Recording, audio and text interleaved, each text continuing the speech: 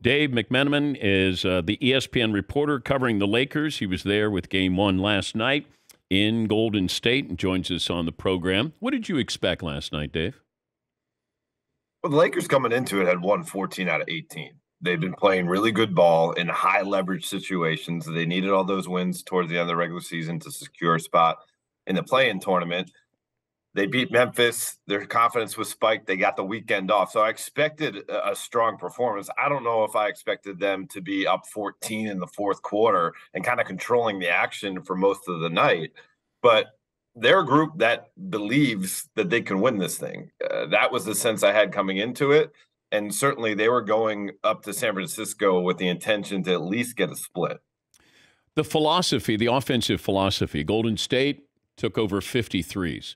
The Lakers seemed like they were content, aside from LeBron, to have two point attempts here and get to the free throw line. Does that philosophy change for either team going into game two?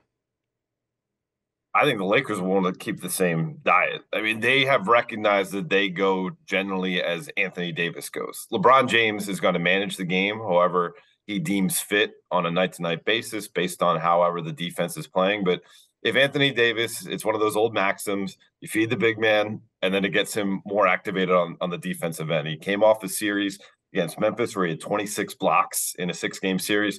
He had four blocks in game one, and part of that was going nine for 10 from the field in the first half, just activating him. As for the Warriors, obviously they were the highest paced team in, in the first round of the playoffs. You're comfortable with Klay Thompson and Steph Curry taking just about any look they could possibly get when they step on a basketball court. I don't know if I'm Steve Kerr. Perhaps I, I, I talked to Jordan Poole a little bit about some of the shots that he took, but overall, I, I think both teams are content with that stop. I mean, you think about it, it's a tied game with two minutes to go. Okay, but if I paused the Jordan Poole shot as he releases it, would you have said good or bad decision? Oh, bad. I'm like Steph Curry, who's leaning over in disbelief after the shot Tarem's off to the left. Now, I have seen you know, Tyrese Halliburton, a, a, bright young star in today's game. He defended the shot. He said, What do you want? It's less than 10 seconds to go. It's wide open. You want him to put it on the floor and lose his you know vision and and the separation there. Yeah, You're right, separation. But you still have ten seconds. That's sometimes an eternity in a game. And considering how good that group is in relocating uh, shooters, uh, you look at the shot that Steph Curry hit to tie it.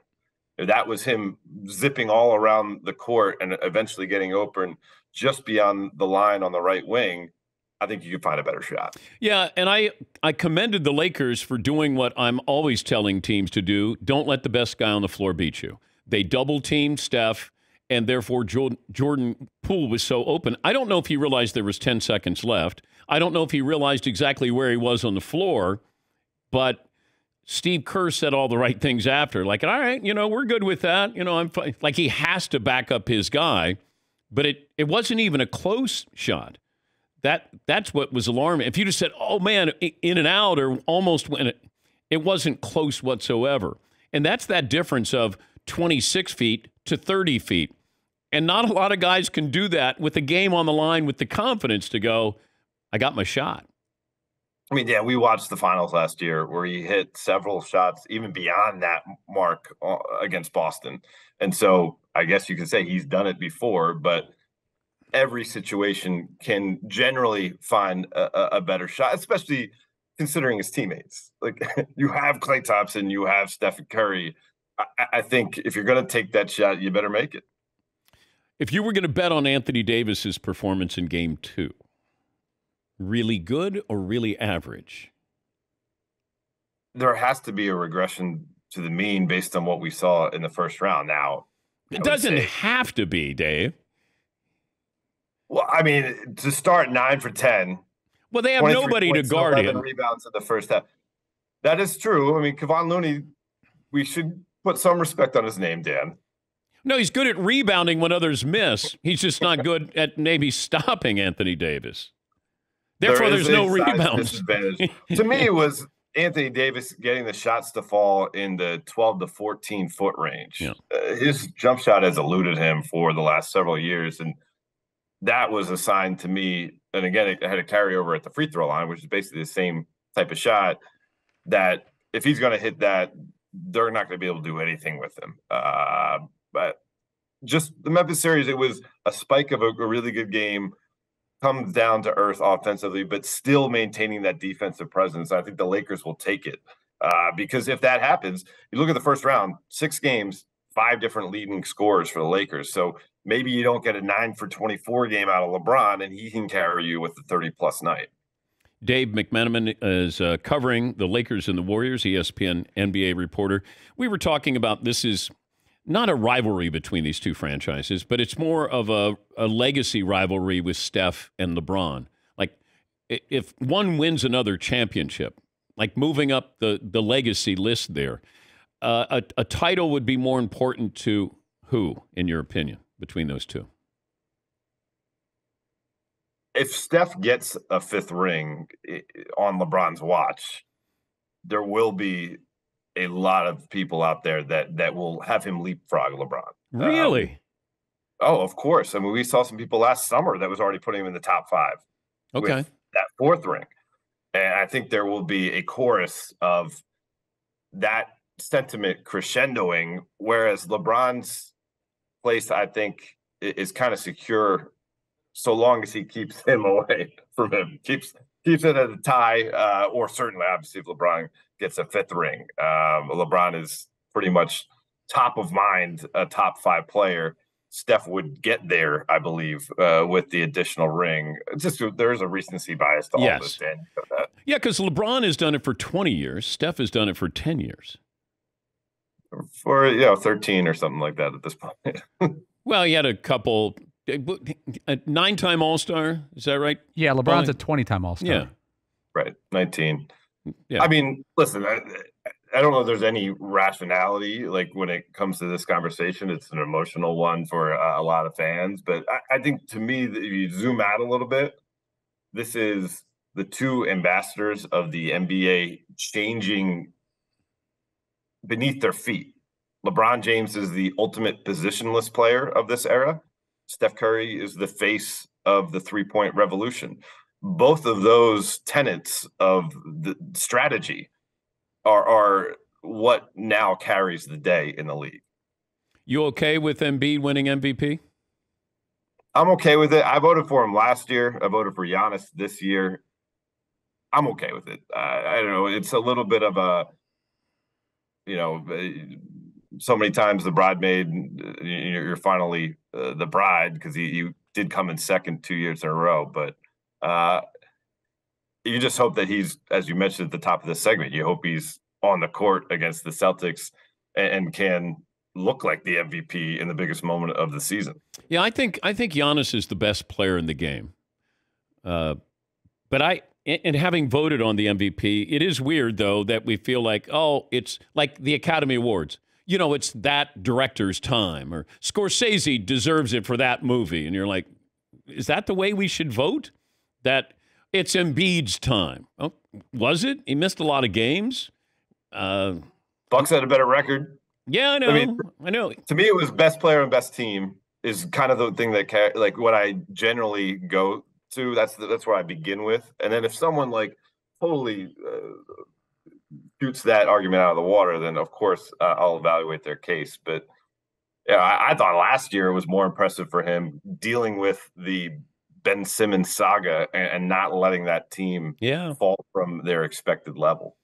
But uh, it it felt like there was a seismic shift when uh, Perkins mentioned about the voting and the makeup of the voters because you know DraftKings said the Joker was a prohibitive favorite to win, and it's almost like the voters because there wasn't much time left in the regular season, I don't think, and it just felt like maybe people did a reset on that and I thought that that changed the voting, whether it changed it for Embiid winning, but it felt at the time Joker was the prohibitive favorite to win the MVP. What kind of impact do you think that had, if, if any, in your opinion? I, like Andrew Perkins is someone who I love working with, and, and I hope people listen to what he has to say. Uh, maybe not all the time, but but a lot of the time. Uh, I think he is kind of has his pulse uh, or finger on the pulse of the things that matter in the sport, and you know, there was a time in the season when Jayson Tatum seemed like the guy was going to get it, and you know, even prior to that, Luka, there was a conversation around it. it, it it's a strange thing. Uh, you have to have the requisite moments when people are kind of locking in their vote, and we live in the twenty four seven news cycle where people kind of get bored of your case, they, even through an 82 game season. So it, it's kind of having the moments at the right time when people's minds are malleable to come off the uh, kind of the initial front running narrative. Now, I think that's a part of it that is affecting the ultimate outcome. The votes are public now. And if there is someone that, that it seems like the pack mentality is going with, do you want to be the one guy to step away from that? You know, Mike Brown, first unanimous coach of the year pick in NBA voting history. I don't, I mean, I, I voted for him as well, and I think he's well deserving, but I think a diversity of opinion is, sometimes a good thing. And the fact that all these awards are put, put out there and people are concerned in some level of their mind about social media backlash yeah doesn't help serve finding the the, the most deserving players yeah you know and i liken it to patrick mahomes Giannis is in the Patrick Mahomes category we taken for granted. You know, he won an MVP, he won a title, and, and that's an ultimate compliment. Because Mahomes is, what, 26 years of age, maybe 27, and we're like, we forget how great he is. And and I think we did this with Jordan to a certain degree. Certain players they graduate and then we go, "Oh, that's right." And and therefore we root almost for the new story to come up. You know, that we can talk about this guy. Uh, where you know the media feels like they've been desperate for Luka to be an MVP, and I keep saying he's not going to be an MVP for a long time because the team is not good. And you know, if he has the number one seed, then he can win an MVP. But you know, he, hasn't graduated there. But it feels like there's some of these guys who get there. You know, when Jordan didn't win twice with Barkley and Karl Malone, it was like people felt like the media was desperate. Like, give us another thing to write about. Even though they were worthy, Jordan was still the MVP of the league. And to this day, Dan, LeBron has four of them. And within the last month, I was in the locker room post game with him in Los Angeles, and we're having a conversation about something and that's something gnawing at the back of his yeah. mind, and he brings it up. Well, still in four MVPs. What's going on? And here's a crazy. He hasn't stat. won one in ten years, Dave. And this was the first year of his career. And now he was not on my MVP ballot. He missed too much time. The Lakers were under 500 for a lot of the season. First time in his 20 year career, he didn't get one vote for MVP. I, that's a wild stat for 19 straight years. Yeah. People who whose opinions, quote unquote, mattered viewed him as the best player in the game. Will you ask him about that? Uh, most likely, yeah. Last night, probably not. You know, the podium situation, yeah. he's sitting next to Anthony Davis. But yeah, if there's a shoot around or a practice, I think that would be an interesting conversation. Hey, thanks for getting up with us. We appreciate it. Uh, thanks for joining us, Dave. You got it, Dan. Uh, Dave McMenamin covering the Lakers Warriors series, ESPN NBA reporter.